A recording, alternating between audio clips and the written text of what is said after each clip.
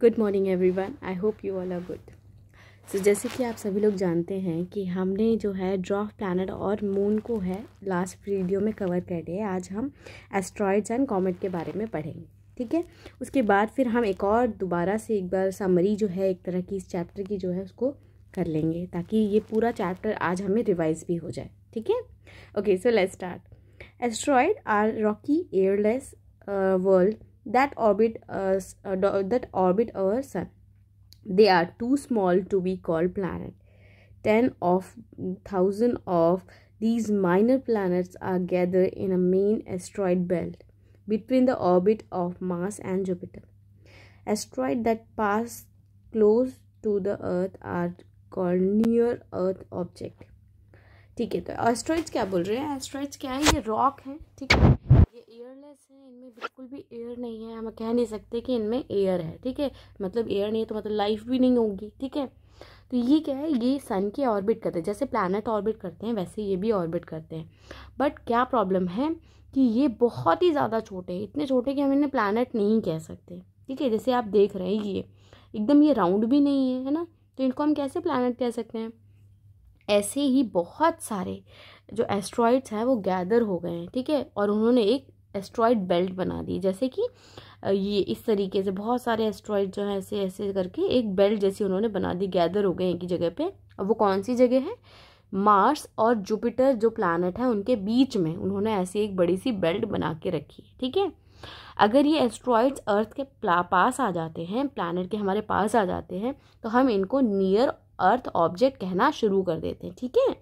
Very good चलिए अब हम कॉमेट्स के बारे में पढ़ते हैं। कॉमेट्स आर स्नो बॉल्स और frozen gases and rocks when comets orbit being it is close to the sun it heat up and emit dust and gases into a giant glowing head the dust and the gases form a tail तो जैसे कि मैंने आपको बताया था कि comet क्या होता है? कभी कभी हमें ऐसे लगता है ना कि तारा गिर रहा है ऐसे तो वही क्या होता है? वो कॉमेट होता है। वो कॉमेट कैसे होता है?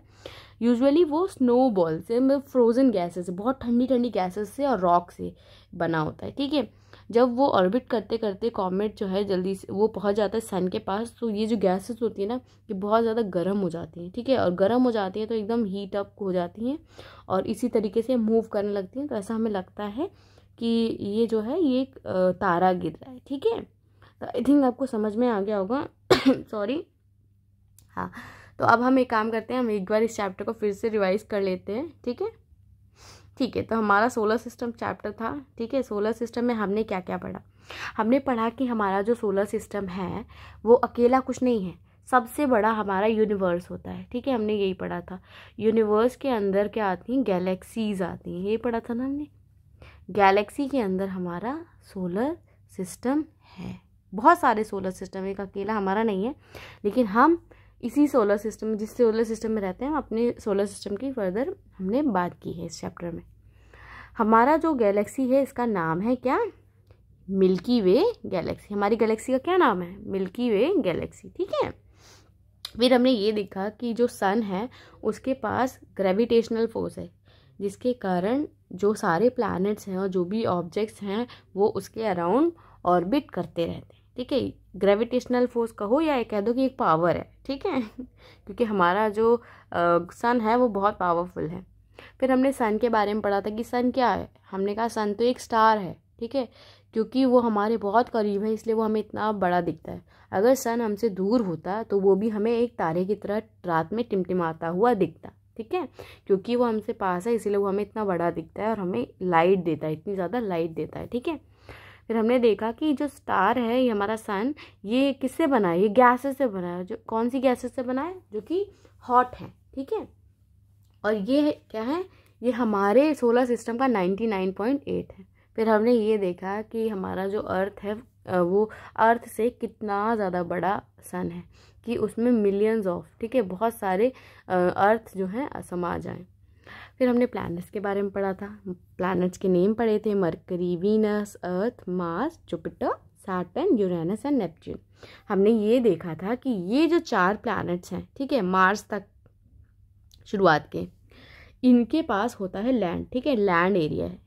ये लैंड इनके पास रॉक है।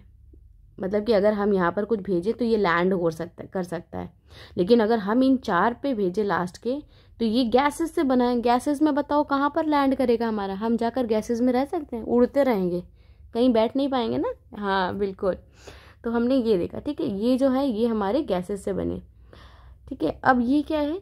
हमारे जो इनको हम कहते हैं इनर प्लानट ठीक है? इनको क्या कह दिया हमने? हमने कह दिया इनर मेरी राइटिंग बहुत ख़राब हो गई है। इसको चलो मैं फिर से कर देती हूँ। हम्म, इनको हम कहते हैं इनर प्लानट ठीक है? और बाकियों को क्या कहा हमने? आउटर हो गए वो ऑब्वियसली ठीक है? इनको टेरिस्टियल प्लानट भी कहते हैं।